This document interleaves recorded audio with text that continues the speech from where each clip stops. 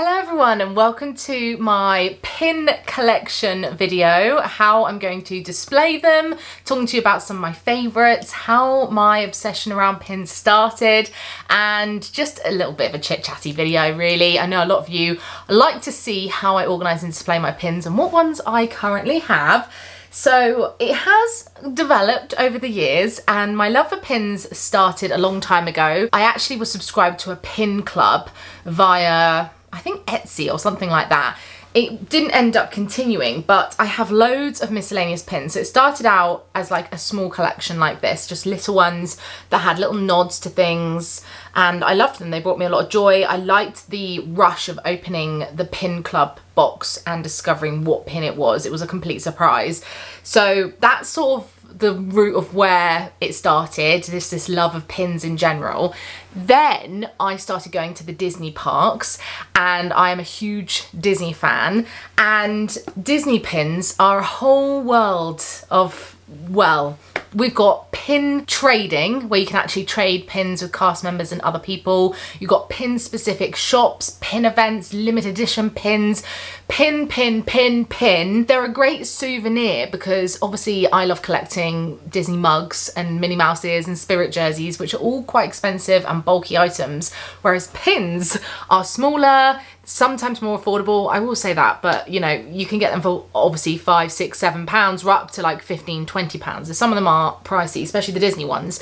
But i really love finding ones that have re resemblance to particular holiday the hotel we stayed at a restaurant a show we saw a character we met whatever i love finding a pin and associating it to that and the rush of finding the pin you love or one you've had your eye on is just so exciting to me. And I do love pin trading, which is essentially a free thing that Disney do. Any cast members that have pins on a lanyard or a pin board behind the till in a shop or in a hotel lobby, etc., you can ask to trade and you can trade any official Disney pin with another official Disney pin. So I've actually found some really great special ones from pin trading. I haven't done it on my most recent trips, but I'm definitely going to do it in December. So yeah, what started as this like small board, moved over to these bigger boards. Now I got these originally from, I think it was Wilko, and they do actually have these peel backs. So I was going to put them on the wall, like peel that off, stick it on the wall. And I have different boards for generic Disney, Disney parks, and then generic pins I own, and then places and like events, so like theatre shows and what else is on there. You'll see as I go through. But yeah, I've clearly outgrown the boards. And obviously I could just get more of these square boards, but I just wasn't loving them. And look, these pins mean a lot to me. And as you can see, there's loads of them and they're all on different cards and backing cards still. I have some from cruises, um, loads and loads and loads. I love them so much. My mum actually has an audiovisual presentation business where she sells projectors, whiteboard screens, everything basically and I asked her if she could source any decent pin boards for me and she had a supplier and she now sells these and they are absolutely perfect. So this is a weird one because it's obviously not an ad for my mum's business. I bought them myself with my own money, paid her for them. Uh, so I'm gonna leave a link, uh, but full disclosure, yeah, they, they are my mum's business. So this is what they look like. I got six of them. They came in a pack of three, so I just got two packs. And they're just these thin boards. They're not cork like this one they are just sort of like a, I don't know what they are, like a, a fabric board.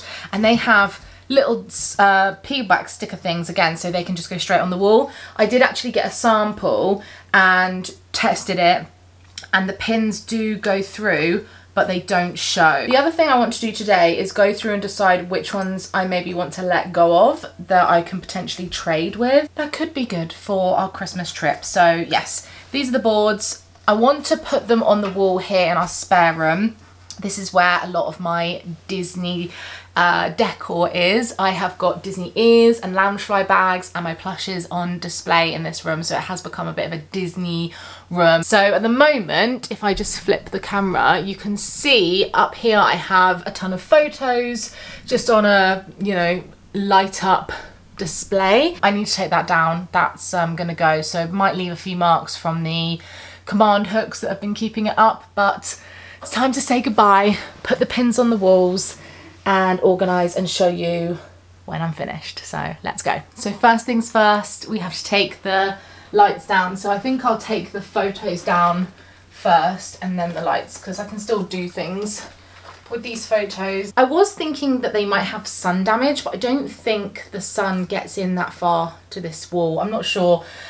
Either way, we just gotta hope that it doesn't and maybe I'll try and keep the curtains shut more. I am so excited about this little mini project and finding a way to display pins. I don't think enough people really like fully talk about it. It's one of those things that we all seem to buy them and then how do you show them? I do actually keep the actual backs to the pins in one of these little um, boxes and I have all the backing cards as well so if I ever did want to sell a pin I could easily do that uh, my friend Gary keeps all of his on the backs on the cards and has them in a big box obviously that's a really good way to do it as well but for me I like being able to look at them all so this brings me joy I like being able to say Benji bought me that that meant that this is that la di da da like I have some from my trip to New York that I got in the Disney store like I got a pack so they're like Disney crossover with a trip. Does that make sense? But yeah, oh my gosh, I love them so much. So I can't wait for them to go on the wall. A lot of them need to come off their cards. I've got lots of new ones like this. I need to take off the cards, put the backs in the box and then give them home. The goal is that if I keep buying pins, then I can just keep buying more boards and then keep going until it gets a little bit silly. But I'm thinking because of the shape of them, obviously, we can display them in such a way I don't know how I want to do this yet. It'll look quite good, right? I think it will anyway. We'll see. I hope so, because I'm going with it now.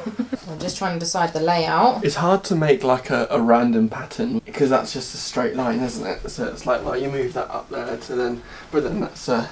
A weird circle. Unless we don't use all of them for now. Then we go, but then that's just a, that's just a flat line again. It'll just be quite close to the radiator. Yeah, that's fine. So we need to find the middle point for this one then. Are you excited? Yeah, yeah, ecstatic. I can hardly contain my excitement. I'm just glad that you don't mind. I'm going to shove a load of pins on our wall. Like, I've already written off this room as not being anything to do with me, so... Yeah, we'll have a spare room, we'll keep all of our spare stuff in there. I don't have stuff. you have lots of stuff.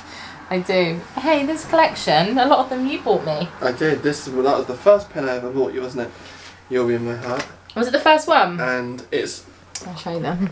They don't make it anywhere. This one. And it's musical, and it, it used to sing "You'll Be in My Heart." I've got a pin that's Disneyland Shanghai opening that I traded for just because I thought it was like quite pretty and special. But I've obviously not been to Shanghai, so that one feels a bit naughty that I've got that. Honestly, I feel like you should have got Gary to come round. Like here's you two together doing this would be. Gary would have loved to have done this with me. Yes. A little glass of wine each. I think maybe Disneyland Paris. But actually, I don't know if I have enough for Disneyland Paris. No, because you've got. I mean, these are like pin. These are pin trading ones, aren't you? So that you take them off. Do you know what I mean? Well, some of them I can trade. Yeah, if I don't want them anymore. So this is what we're working with. I have places, like locations we've been. Uh, I have theatre shows down the bottom there.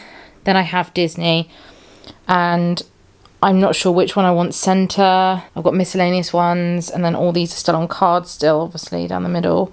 I think something like theatre could be an easy one to start with because there's not that many. Maybe something like Harry Potter because I only have a few of those. Like I've got some Slytherin pins and then I've started collecting some others from when I went to the studios tour. And I got these the other day. See, that is one that came in like a set. I would happily trade that. So she can go. So the boards are on the wall. They look good. I'm really happy with them. And they feel really nice. They feel pretty sturdy. Like uh, they're not moving. Whatever the uh, sticky back thing is, is really strong. Um, and I love that I didn't have to like try and you know, pin them or put nails in the wall. So yeah, they're nice. They're really nice. So I'm happy. Like the colour. They do loads of different colours, but I went for this one. I think it's called stone or sand. Now I have to decide where to go. I think I'm just going to have to tackle Walt Disney World first. Go straight in the middle with Walt Disney World because, I mean, I want to say Walt Disney World's my favourite out of the three I've been to in terms of Paris and California. I think Disneyland, California and Paris might have their own half and half. I'm not quite sure. and then maybe other Disney, and then Harry Potter, uh, places. I do. I think we might need the other one up. We've done five. We do have another one, but yeah, I'm not sure how it's going to go. I know that my biggest pin is this one, which is the Dapper Dans. I bought this on Shop Disney a few months ago, and it's pretty large. I don't like the big ones, but I made an exception for the Dapper Dans because I love them, and I saw them on my last trip, and I haven't found a smaller, nice Dapper Dans pin, so I think we'll go for this one first and just go straight in the middle with them maybe. Maybe I should use the spare one and lay them all out on the spare first and then duplicate it on the wall because I might end up moving them. Yeah, that's a good idea. So I've started laying out Disneyland Paris. I don't have an awful lot for Disneyland Paris and I don't have a hotel pin for Newport Bay because they didn't have any. I don't even know if they sell these anymore with the little keys on the bottom. So that's annoying if they stop doing that. But I think Disneyland Paris I don't have a lot for, so it might be that I do Disneyland as well. It's hard because sometimes I have like here I've got a Big Thunder one, but then that one's Big Thunder too, and that could be either Walt Disney World or Paris. I mean that one I got in Walt Disney World, so maybe I keep that for there. Maybe that goes on Disneyland Paris ball because that's the first time I went on Big Thunder was in Disneyland Paris. I really honestly don't know where to truly start, but I'm thinking Disneyland Paris and Disneyland California. I don't have that many from there. This one is gorgeous. I actually got this on Etsy from Peach and Mimi. It's the Disneyland Paris castle and it's one of the nicest pins I found that's not Disney. I'm just gonna go for it. The first pin is in. It's coming together. That took me four minutes to just get those ones on. So I went to Walt Disney World in 2018. I bought this one and I traded this one before I bought this one, I think. And at the time, I was just quite happy with two pins. But do I really need two 2018 pins? I think I may trade this green goofy one because I don't really. Alrighty, I've got my tray of Walt Disney World pins now that I'm going to go into the middle. Um, I haven't quite decided as I have quite a lot of rides and then parks and I don't know whether to put the rides so like obviously Soarin' next to Epcot or to put all the rides together and put like Hollywood Studios, Epcot, uh, specific ones on a different side. I feel like I want the rides together because then you can see all the different rides. I seem to have quite a lot of balloon pins and I'm really drawn to ones with balloons on. I love them. So yeah, this is what this looks like. I'll show you in detail when it's all on the wall, but let's put it up.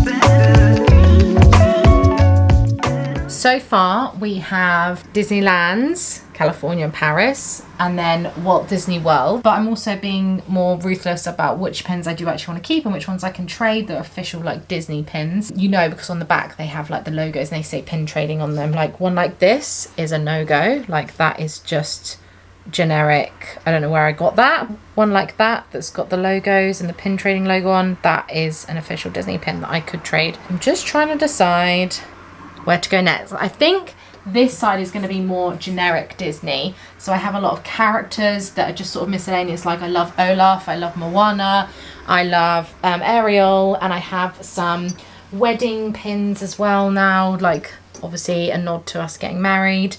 So I've got like quite a few generic Disney. So I think that's where I'm going to go next um, is generic.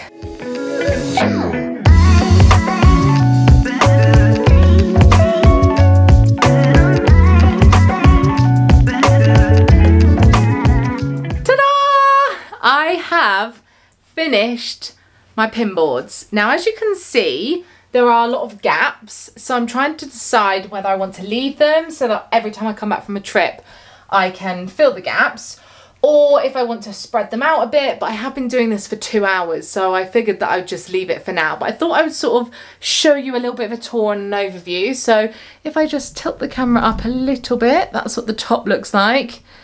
And then Disney is down on the bottom here. So let's go one by one. So the first board has got Disneyland California and Disneyland Paris. So you can recognize some of these things. So I've got lots of the lights on, so they're a little bit glary, but 30th and 25th pins. The middle one has got Walt Disney World. So if I start at the top, I've got uh, resort pins. I'm not going to go through each one, but you can see them all. We've got parks and places, special memories in the middle. And then over on the right, we've got events, so like Hoop-Dee-Doo and Flower and Garden Festival. That was recently, obviously, 2022. Down here, I've got ride pins. I definitely want to get some more rides. And then coming on up for Walt Disney World, I've got so many different ones. This was a recent one, obviously 50th, and this one I added. And I love this one with Goofy with a camera and Donald with a Mickey Premium bar and a balloon and the statue and the castle behind. I think that's so nice. And then over here we have more generic Disney pins, so characters and kind of, yeah, seasonal ones. We've got Christmas and Halloween over here, birthdays. Up the top are the special ones for Benji and I. My Happy Places with You, he bought me that one on our first Walt Disney World trip. And then coming down, just some of the character pins. I love Moana, so I have a few from Moana. Uh, Mirabel, Mickey, obviously. There's loads of different characters down on the edge here. These were given to me by Benj. He had these in his collection from his childhood, 75 years with Mickey. So obviously celebrating the 100 years of the Walt Disney Company next year. So have to get some pins for that. But I've got Kingdom Kingdom Hearts. I've never actually played the game, but I got given this at an event, and I don't know. I thought it was cute. Disney Plus Day, and then I've got some dog ones over there that came in a pack that I quite like. And then up the top here, I've got New York, and that leads me nicely onto places. So hopefully you can get a good gist for this. But basically, it goes UK, so you can see London and staycations we've done, sort of places. This is all UK. That's Shrek the Adventure in London. Then it goes into countries. So I've got a lot of the Caribbean, Norway, Greece, cruising. Um, we've got UK theme parks. We've got Harry Potter. So I put Harry Potter down here. Ended up being a bit bigger than I imagined, but takes up all that section. Still space to add a few more if I want to, but I've got a nice selection of Slytherin pins and then a couple of like generic Harry Potter ones. Down here, I've got Orlando, New York, and LA. So that's all of those. And then I have all my theatre pins. I don't always get a pin for every show because they don't always sell them. Um, and events, so some in the City I put down there. But yeah, you can see some of the shows I've seen recently. Aladdin is one of my favourites and Frozen. I'm seeing that again next week. I'm so excited. And then over this side on the last board are all my miscellaneous ones. So I have brands, companies I've worked with or for. My friend Adam had a whole collection of pins, Halloween one. I've got lots of bees because B is my nickname. So I've got loads of different bee pins. Lots of miscellaneous like characters and my friends make amazing pins so I like to buy them and support them. My friend Catherine has a business called Katnipp and I love hers. These are all hers. Um, this one, this one and Gingy. And then over here are more like quotes I guess that I've collected over the years. Um, good vibes, prove them wrong, building an empire, kindness is power. Um, put on your positive pants. I love that one. And this one is pajamas for life. And this is my most recent one. I got that in Brighton. It says take care of yourself. Car karaoke queen. If you know, you know. And then I've got a couple of book ones too. The book was better and it's lit. That's another new one. I bought that one at the same time as that one. And Benji bought me that Brighton pin. So that was one of the most recent pins. That one from a football game. But obviously it represents being down in Brighton. So yeah, I think that is everything. I am really happy with them. I think they look really nice. There's loads of room to expand and it just looks so much better and I love having them actually on display. So when people come and stay, they can have a look at them and yeah, I just think they're so magic. This one is very special. This is the VIP tour I got to do with Disney. Don't think that will ever happen to me ever again. So obviously I kept the backing card on that one. It's the only one. I know that pins aren't for everyone and this is not the most visually appealing like piece of art because it's obviously a little bit messy in here, there and everywhere but it means so much to me. Like here is Mickey's Not So Scary Halloween party that I did and I dressed up as a cheerleader. So I have mini cheerleading and I met Lotso the bear. So you can see like just from those three pins there, I have like a core memory on unlocked just from looking at those pins. So to me, they're just so special and I love them. That's the one I pin traded, by the way. Let me try and show you closer. This is one of these like special ones that you can't buy. I pin traded that, I found it. I was so chuffed. Um, what else do I want to show? you? Oh, this one's fairly new. Got that one and that one recently on my most recent trip and obviously like I said the Dapper Dans. I almost forgot to show you the pins that I popped aside to trade when I go to Walt Disney World. These are the ones that I'm not really interested in keeping anymore so I have a couple of the keys. I have just like such random ones I just don't really like the design or you know what they look like so if you watch our Disney vlogs I'll show you what I managed to get in return for trading these. So yeah, let me know what you think. Let me know if any of you collect anything. Is this something you would do? How do you display your pins if you have any? And let me know if you like this video. It's been really nice to do something a bit different, but I've been really wanting to show you my updated collection and um, how it's all looking. Clearly I need to go back to California and I need more from Disneyland Paris so I can expand here. But um, mostly I love it all. So thank you for watching. I hope you enjoyed the video. Please hit subscribe if you haven't already and I'll see you again in my next ones. Bye!